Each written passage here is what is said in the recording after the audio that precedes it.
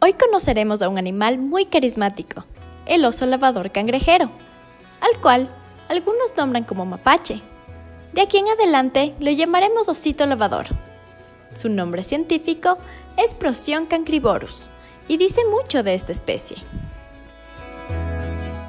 Procyon proviene de dos palabras griegas. Pro, prefijo que significa antes de, y kion, un perro.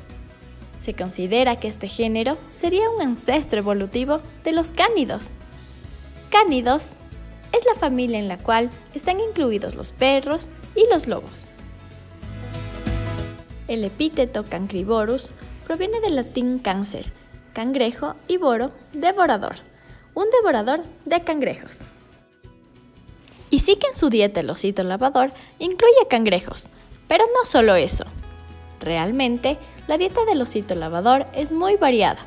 Incluye insectos, moluscos, milpies, escorpiones, peces, ranas, lagartijas, culebras, aves y mamíferos medianos como zarigüeyas y armadillos, y frutos de una variedad de plantas.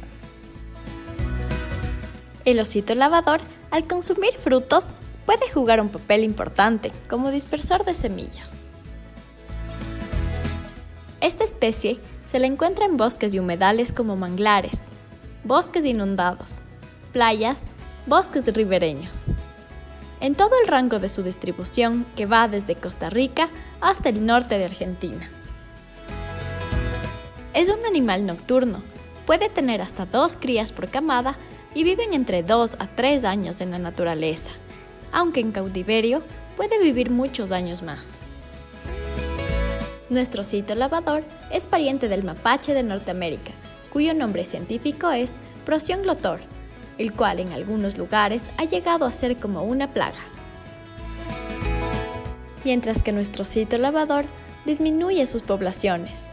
De él hacen falta investigaciones de la historia de vida, ecología y otros aspectos más para saber a ciencia cierta sobre esta especie.